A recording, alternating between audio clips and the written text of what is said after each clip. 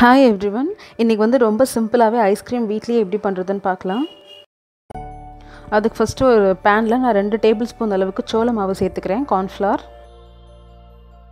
அது கூடவே ரெண்டு டேபிள் ஸ்பூன் அளவுக்கு பால் பவுடர் நாலு டேபிள் ஸ்பூன் சர்க்கரை. உங்களுக்கு வேணால் இன்னொரு டேபிள் ஸ்பூன் கூட எக்ஸ்ட்ராவாக சேர்த்துக்கலாம். இது கூடவே நான் அரை லிட்டர் பால் சேர்த்துக்கிறேன். ஃபுல் ஃபேட் மில்காக இருந்தால் நல்லாயிருக்கும்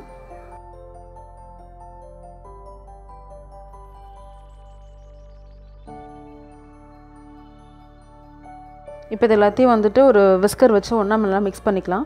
கொஞ்சம் அழுத்து மிக்ஸ் பண்ணுங்கள் ஏன்னா கார்ன்ஃப்ளவர் வந்துட்டு அப்படியே அடியில் போய் பிடிச்ச மாதிரி இருக்கும். இது எல்லாத்தையும் ஒன்றா கலந்து விட்டதுக்கப்புறமா அடுப்பில் வச்சு மீடியம் ஃப்ளேமில் ஆறுலேருந்து ஏழு நிமிஷம் வரைக்கும் இது நல்லா கொதிக்க வச்சுக்கலாம். ஸோ இது நல்லா ஒரு ஏழு நிமிஷம் கொதிச்சதுக்கப்புறமா அடுப்புலேருந்து இறக்கி கம்ப்ளீட்டாக ஆற வச்சுடுங்க.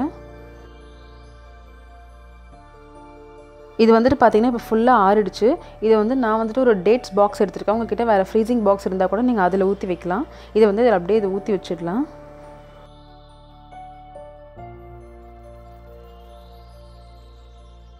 இப்போ இந்த பாக்ஸை வந்துட்டு ஒரு டைட்டான மூடி போட்டு மூடிட்டு ஒரு ரெண்டு மணி நேரம் வந்துட்டு ஃப்ரீசரில் வைங்க.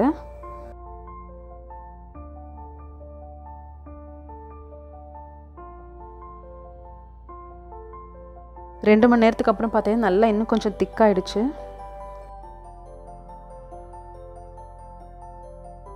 இப்போ இது கூடவே நான் ஒரு சின்ன பேக்கெட் அளவுக்கு ஓரியோ க்ரீம் பிஸ்கட் எடுத்திருக்கேன். அதில் வந்துட்டு அஞ்சு பிஸ்கட் இருக்கும். ஸோ இப்போ இது எல்லாத்தையும் வந்துட்டு நல்லா சின்ன சின்ன பீஸாக உடச்சி இதில் போட்டுக்கிறேன்.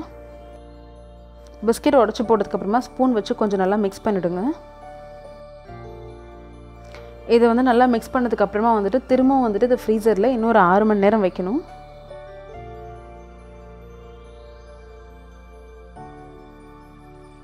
ஸோ இப்போ ஆறு மணி நேரம் ஆகிடுச்சு நல்லா ஃப்ரீஸ் ஆகிடுச்சு இப்போ ஒரு கத்தியை வச்சு இந்த ஓரத்துலலாம் வந்துட்டு லைட்டாக அப்படியே எடுத்து விட்டுருங்க.